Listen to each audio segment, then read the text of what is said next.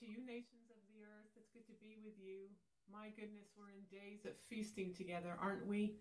The days of the glory of the Lord shining all over the earth. زمانی که هستش که الان جلال خداوند بر روی زمین ریخته میشه The Lord yearning for his bride to come together, and he says, out of your innermost being, خداوند واقعا قلبش هست برای مردمش برای بچه هاش برای مرد نسل ها خداوند هیچ وقت از بین نمیره که ما رو آماده بکنه و ما رو راضی بکنه ماها دختران و پسران خداوند هستیم که در قدوسیت او مشارکت می‌کنیم و چقدر زیباست چقدر این با ارزشه زمانی که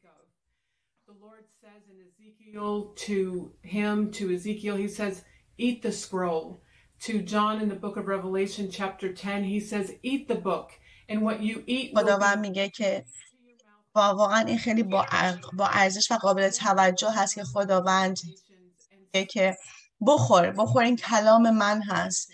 بنوش این کلام منه. بعد اون موقع خداوند در ما کار می‌کنه تا به تمام نسل ها بریم.